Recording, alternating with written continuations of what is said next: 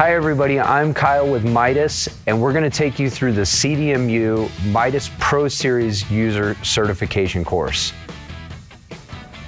So this section of the video, we're going to go over the control center operation of a Pro 3, 6, or 9. They are all similar in hardware, just differentiated through firmware and input and output channel count.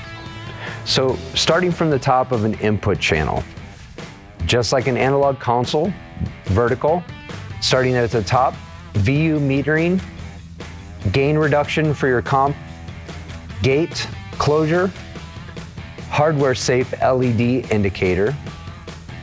This is your gain section. This is where you will be able to adjust your analog head amp gain and your digital attenuation or your digital trim. 40 volt, 48 volt phantom power operation, a talk function, phase reversal, and a little LED.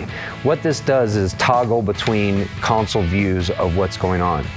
These little buttons are all the way down your channel strip. What it does is bring the channel into view of what you are working on at that time. It does not affect audio and it's just a quick access function to get to that area as fast as possible. Right below the gain area is the direct out controls. If these are not patched to a direct out device, to either like a playback or a record device, these mutes will stay illuminated. Moving down to the next section, this is your dynamic section. Here you have your comp on and a clear button to navigate directly to your comp of that channel. That way you can get to the controls and start adjusting. Right below that, you have your gate on and off, and the navigation button as well. There is a listen LED in the dynamic section that corresponds with this so you can listen or solo right at the comp or gate level. Right below that is the insert for the channel. This can be an insert from an analog device out of the back of the console, or this can be inserted directly in the effects rack as well. This will not turn on or off or get the yellow assigned LED unless something is patched to that channel. Right beneath that is the EQ section. Each input channel has a four band parametric EQ. Treble, high mid, low mid, and bass.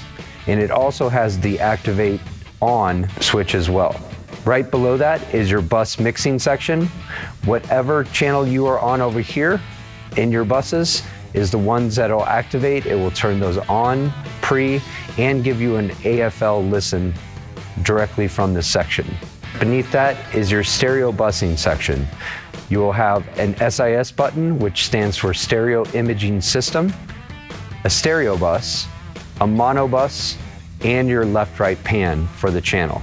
Right beneath that is your scribble strips or your LCD buttons that are going to contain your input list and the coloring of the groups that you put in.